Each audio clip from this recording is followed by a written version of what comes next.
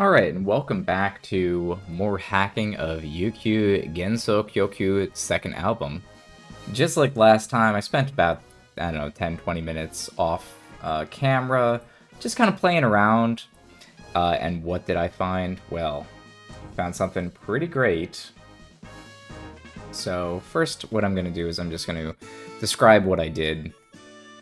So what I, what I was doing was essentially searching for a value, and you know, I'll, I'll reproduce it for you here.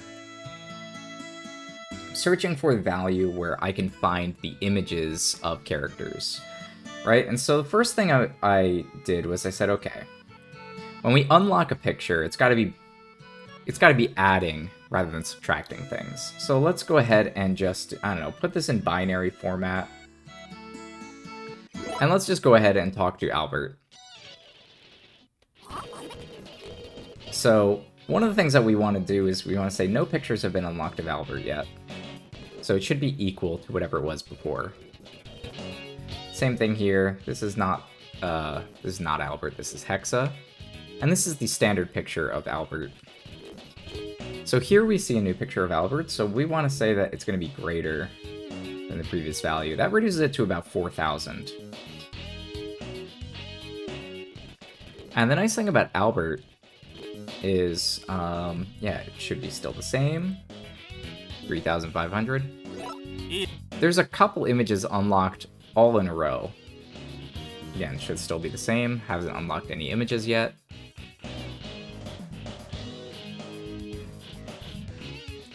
And here we get a new image of Albert, so we're going to say this has to be greater than the previous value. And it turns out that that alone will bring you down to two values. Now if we display those in hex, you can see more clearly that's value 13. Or 1, 3. And then here's a fourth image of Albert, raising it to 17. So we have two possible values here.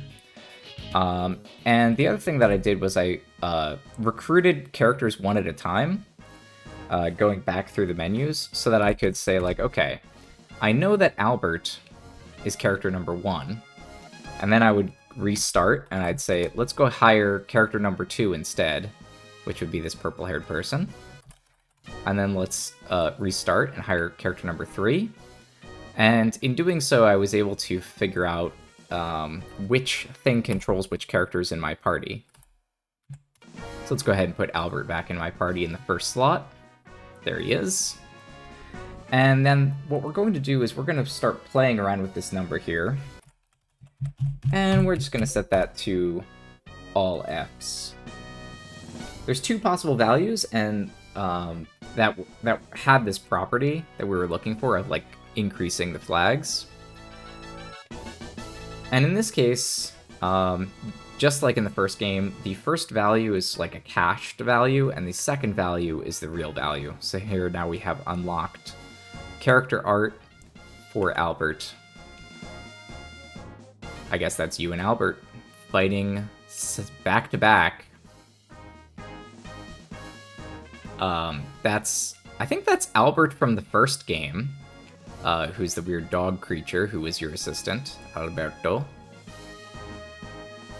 Oh, you know, me and Albert were just um, wrestling. Yeah, so you don't need to see this window capture anymore. So yeah, essentially what we've done is we've found where the images are located. But that's only for Albert. Do we know? Have we gotten the other character art? Well, this is the character, uh, second character, and it turns out that, yes, it seems that we've also unlocked art for them. I don't know if we've unlocked all of the art for them. They have, like, an animal companion friend. So the natural next thing to do is to just start going crazy on this thing and setting as much as possible to a series of uh, flags that are all set.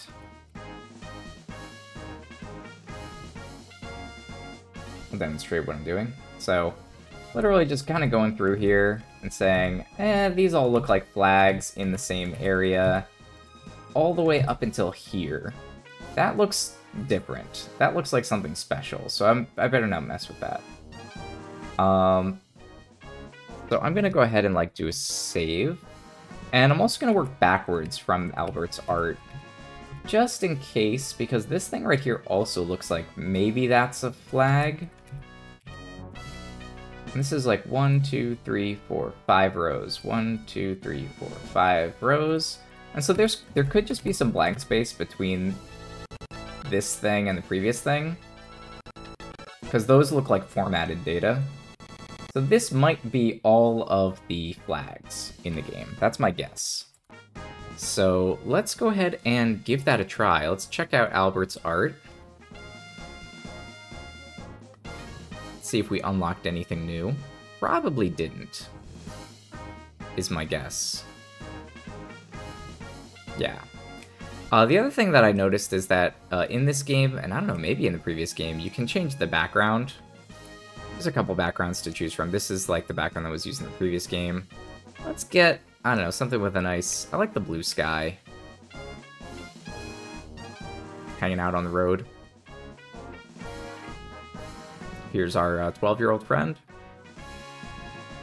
Wearing their oversized uh, hoodie and their knee highs. Those are programmer socks, I believe.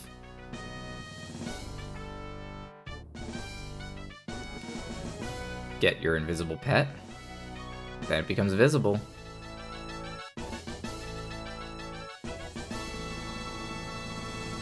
Okay, so next we're going to go to character number three.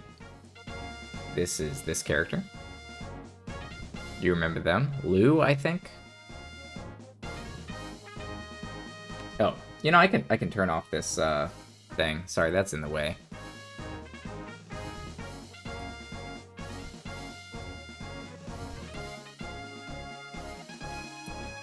I guess Lou is a, a waiter serving on these children. And knows cards.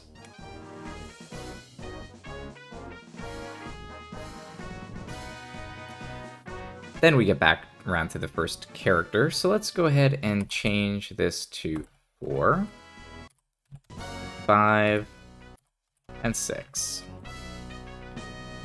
So here's character number 4. The uh, haughty or quiet type, perhaps.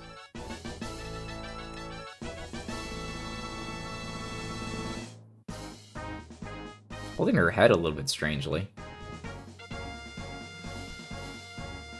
I guess she can do origami. She's also good at picnics. I could go for a picnic. I'm a very food-motivated person sometimes. Here's our cop friend. I think her name was Vanessa. Despite it being Middle Ages, she's got a pistol.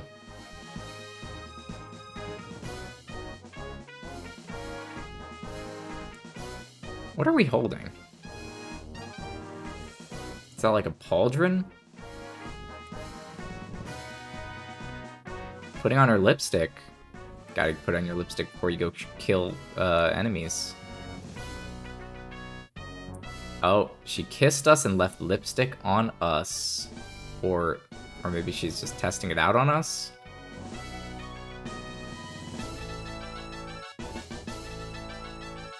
I guess that's the good ending for her. Then we got this character. She's like, I don't know, supposed to be good at cleaning. Was her character trope. She's supposed to be like kind of ditzy.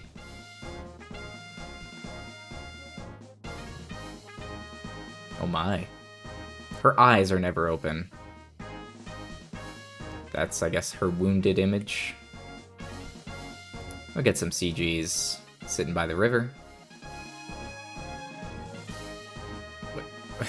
what what is this guy? He's he's like the cart driver?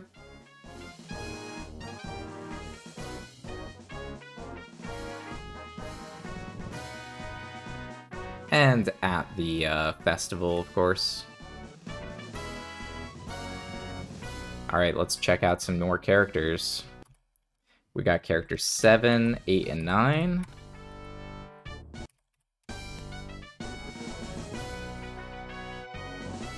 Here's character 7. She's supposed to be another, uh, like, 13-year-old. I don't remember her name. I don't think I talked to her. But I guess she's like a doctor in training or something. Gotta dissect the frog. Even though it's a toy frog. She doesn't want to do it. Alright, we're packed up and ready to go.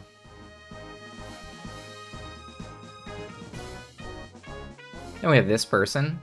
She seemed like... I don't know, she's full of energy.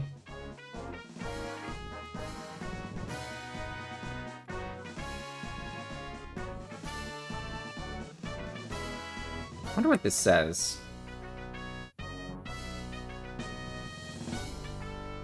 Ichi Dry Gen Kun? I, I don't know what that means. Oh wait. We didn't we didn't see all the art. There's her uh, holding on to us. She's given up her training by the master.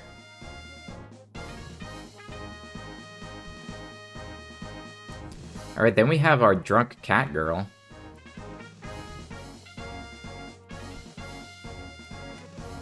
Maybe she's supposed to be a fox girl. I bet she's supposed to be a fox girl. I think that's her holding up the uh, Melody character from the first game. Maybe they're sisters? Uh-oh. Looks like she got kidnapped. Drinking sake in a hot spring. Uh, yeah. Oh no, she's playful. She had some catnip, maybe. Alright, and then we have a few other pieces of art. We have um, character number 10, character number 11, and character number 12. Um, now this is going to be a little bit dangerous. I'm pretty sure this should be safe, but it might crash the game. So character number 10 is the last legitimate character you can get in the game. Um, she's kind of, uh, I don't know, a spoiled kind of character. There she is, sitting on a bed, I guess. I don't know what's happening here. Ah, she's asking for our opinion on clothes. But she has no modesty. How funny. Now we're carrying her purse. UQ. Is that from Uniqlo? Um, she's grabbing onto us. I guess we're boyfriend girlfriend now.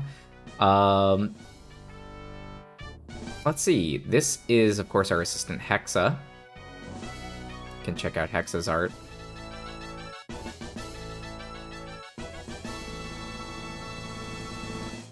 Um, is this like a torn picture frame or something, revealing magical spells? And then we're getting some secondary character art. These are, of course, people we have not met. Like blue-haired girl. Maybe she's a secret character, I don't know. And then we got um, this person that person. That's uh, P uh, Peta, or Pete, I think, from the first game. That's Ellie from the first game. Uh, Rickon, whatever her name is from the first game. Yeah, I, obviously, you know, we got some cameos for all you fans of first game. Here she is this person again. She look, her art looks a little different, but I recognize her from her very silly uh, veiny shoulder pad uh, baggy clothes thing.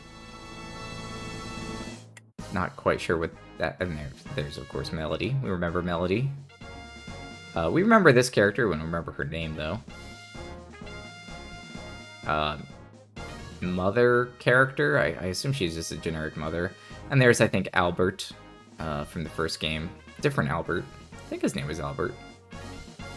Uh, priest guy. I guess this is a general of some kind. Kidnapper. Oh, he's got a crossbow. Using crossbow in Age of Guns seems a little bit silly. Now we got some more secondary characters.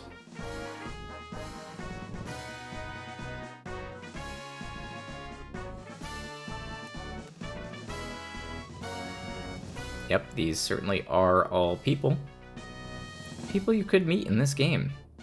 What are they all about? I don't know. Clown Girl. I don't know why she... Hey, the parrot's back. Should be able to date the parrot.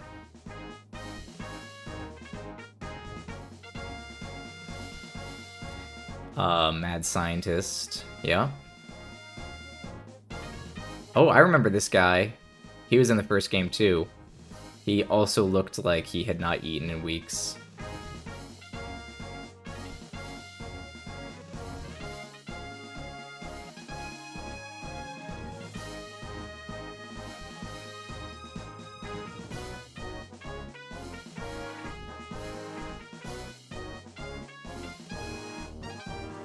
Various brigands and such.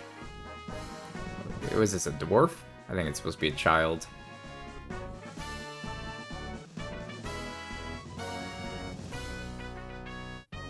Kid with a broken arm.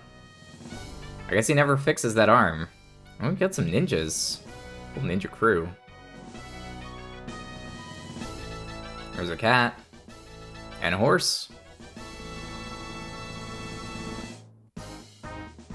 Yeah, just like in the other game, uh, as we get into the more minor characters, we get uh, art, I guess you could call it, uh, like this.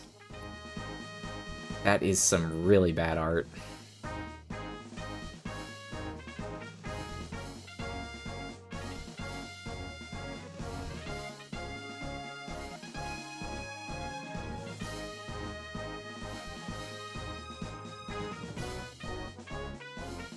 Oh yeah, we remember the masked wrestler. Now we have a female masked wrestler.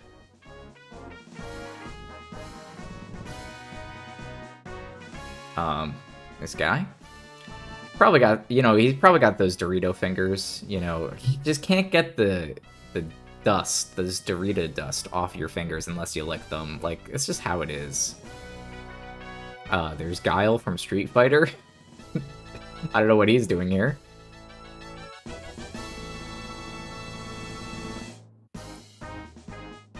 There's a lot of minor characters in this game. I like this guy's art. I think in the first game we also got a weird monster. Uh, that monster looks a little bit better. I think that's the same spider art. And there's some Oni. Hey, we remember Clayface. There's a Harpy. For whatever reason, uh, not a dateable character. Spirits, also not a dateable character. Hey, Skelly. How's it going? He looks concerned. Oh, I guess the kid did fix his arm after all. Hey, I remember that monkey. And I remember that fairy art. And I remember this weird guy. I, I don't know what's up with Armadillo Man. And there we go. We have gotten through all of the characters. Oh yes, and that, that will crash the game if you try to look at the stats menu uh, while you have player 12 in your party, I think. If we try to look at uh, character 12's stats, yeah, that will crash. Well, just like the first game, spent about an hour just kind of playing around with it. Then about 20, 30 minutes off camera, and then I was able to figure out uh, where the images are located, and we spent about, I don't know, 20, 30 minutes looking at those images. So I would call that done for this game. There's probably stats and all sorts of stuff you could play this game. Let's stop that uh, annoying sound at least. You know, there's stats. You could, I don't know, take a look at backgrounds and get silly scenes of you talking to anime girls, I guess. That's all possible, but you know, we, we got what we came for We've seen all the images that are available in this game. And uh, yeah, so thank you for joining me. We'll play another game next time. I don't know, maybe we'll play the third game in the series. There's five games in the series, and we've sort of figured out how to do it, like how this game works, how to find the locations in memory where the images are located. So I might just, uh, I might continue doing some of this series for that reason. However, right now, um, you know, thinking about food. So it's lunchtime, I'm gonna get some lunch. Uh, I'll see you another time.